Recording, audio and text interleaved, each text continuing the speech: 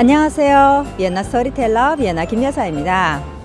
비엔나에 처음 와서 어디로 먼저 가야 할지 모를 때는요. 트램을 한번 타보세요. 날이 좋지 않아도 얼마든지 탈 수 있고 멍 때리기에도 너무 좋아요. 이번 영상은 트램을 타고 링 거리를 드라이브합니다. 슈베덴 플라츠에서 2번 트램을 타고 출발해서 오페라 하우스 앞까지 간 다음에 오페라 하우스 앞에서 하차하여 그 자리에서 1번을 타면 다시 슈베덴 플라츠로 돌아오게 되어 있죠. 대중교통이 이렇게 편리하게 되어 있으니까요. 비엔나에서 꼭 한 번은 링 거리를 돌아보시기를 추천합니다. 링 거리의 총 길이는 약 5.6km입니다. 트램을 타고 돌아보아도 약 30분에서 40분 정도 소요되고요. 여름에 날씨가 좋은 경우에는 산책하기도 너무나 좋은 길이죠. 만약 걸어서 이 길을 산책하신다면 자전거 도로에 주의하시기 바랍니다. 링거리, 링슈트라세는요. 지금은 차량이 다니기도 하고 트램이 다니는 길이지만 예전에는 사실 성벽이 쌓여있던 자리였어요. 1200년경부터 작은 도시 비엔나를 방어하는 성벽을 쌓았던 것이에요. 그 후 수백 년 동안 전쟁을 수없이 겪으면서 방어의 기능으로서 성벽을 점점 더 두텁고 높고 견고하게 보강했던 것이죠. 하지만 1800년도 산업화를 겪은 이후에 점점 더 많은 사람들이 비엔나로 몰려들기 시작했던 것이죠. 이제 성 안의 도시 비엔나는 사람이 너무나 많아서 집을 지을 땅조차 없었다는 것이에요. 그리고 두터운 성벽은 이제 오히려 도시의 발전을 방해하게 되었던 것이죠. 1857년 당시의 황제였던 프란츠 요세프 1세 황제가 이제 더 이상 도시의 발전에 방해만 되고 쓸모가 없는 이 성벽을 허물자 하는 과감한 결정을 내리게 되었던 것입니다. 이 성벽을 다 허무는데 거의 10년 가까운 세월이 걸렸다고 합니다. 이 거리를 따라가면서 어떤 건물을 지어야 할지도 계획을 세웠죠. 오페라 하우스 정거장에 도착하면 트램을 하차하고 내린 그 자리에서 다시 1번 트램으로 환승합니다. 링 거리를 따라가면서 지어진 건축물들은 모두 공공 건축물들이었고 그 중에 제일 첫 번째로 완성된 것이 미너슈타츠오퍼 비엔나 국립오페라 하우스입니다. 1868년에 건물이 완성되었고 다음해인 1869년 5월 25일에 첫 공연을 시작으로 비엔나 국립오페라 하우스는 문을 열었습니다.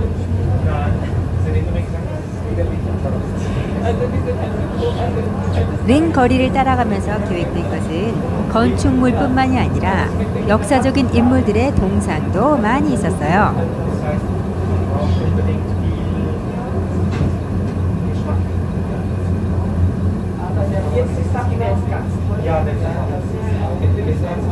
호프부르그 왕궁의 가장 마지막으로 지어진 부분인 신왕궁이 보이고 있고요.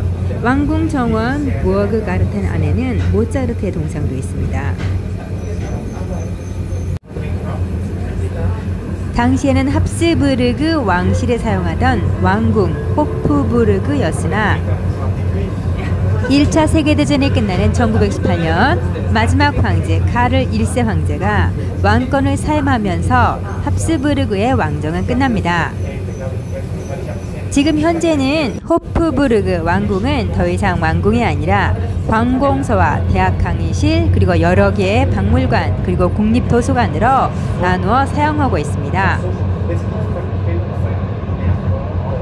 오스트리아는 1918년 11월 12일 공화국을 선포했습니다.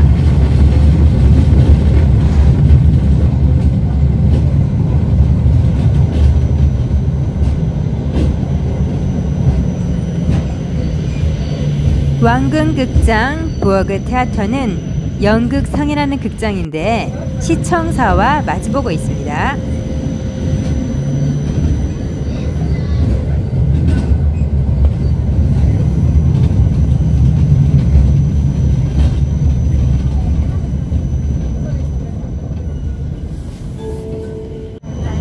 비엔나 커피로 유명한 비엔나에 카페에도 빼놓을 수가 없겠죠. 카페 란트만입니다.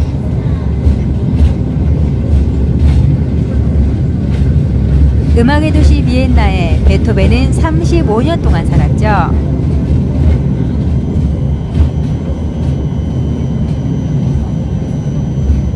어디에선가 이 길이 커다란 커브를 그리는 것을 볼 수 있어요.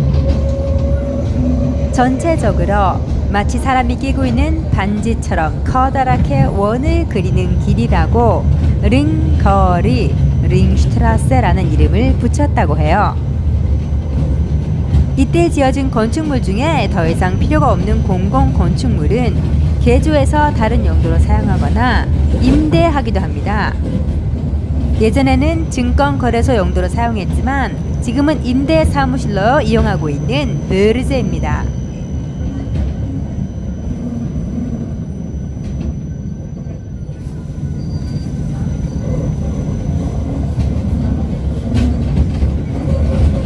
링 거리를 한 번에 다 돌아오는 방법은 링 트램이라는 것이 있어요. 하지만 링 트램은 대중교통권으로 탑승할 수 없고 별도의 티켓을 구매해야 합니다.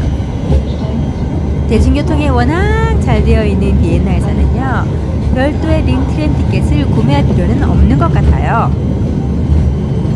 오늘 이 영상에서 안내해드린 대로 그대로 따라 하시면은요, 하나도 불편함 없이 다 볼 수가 있으세요. 그러니 그대로 한번 따라해 보실 것을 추천합니다.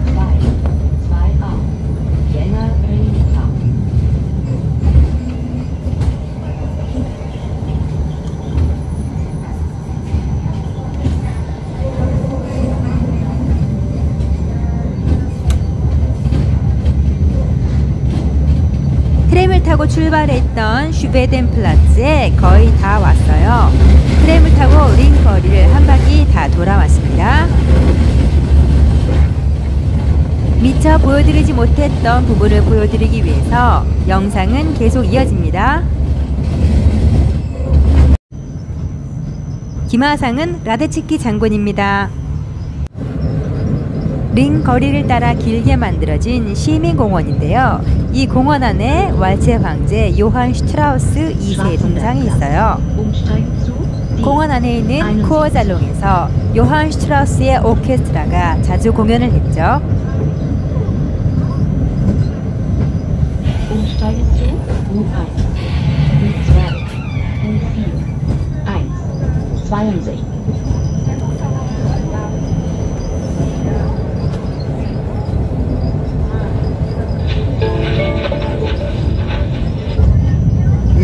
Umsteigen zu U1, U2, U4, 1, 62. 라떼는 말이야 전차라는 것이 있었지.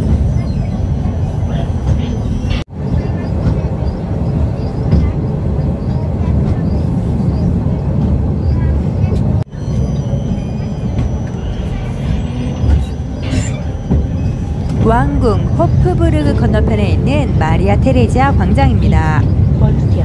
미술사 박물관 U3. 그리고 광장 한가운데 있는 동상이 마리아 테레지아 여제입니다.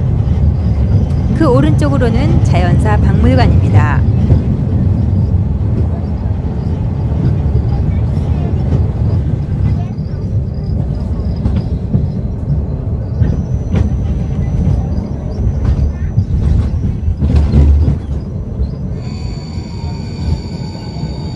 시청사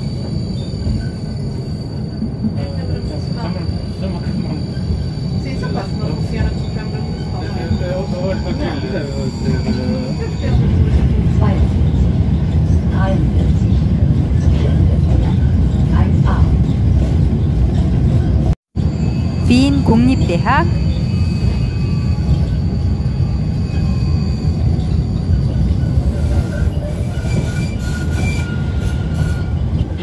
두 개의 탑이 보이는 보티프 성당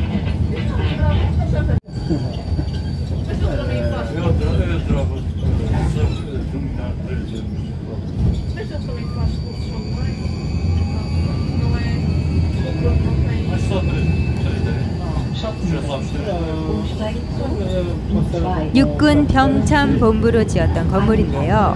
다 짓고 나서야 건축가가 화장실을 하나도 안 만들었다는 것을 알았답니다.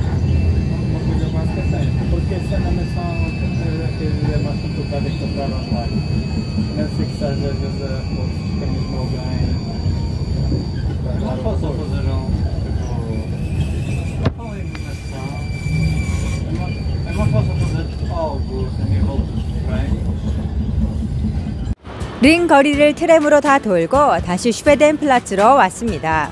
오늘 영상으로 함께 하신 링 거리의 트램 여행은 즐거우셨나요? 좋으셨다면 좋아요와 구독 부탁드립니다. 궁금하신 것이 있으시거나 비엔나에서 보고 싶은 곳이 있으시면 언제든 댓글로 남겨주세요. 재미있는 스토리를 전하는 비엔나 스토리텔러 비엔나 김여사였습니다. 시청해주셔서 감사합니다.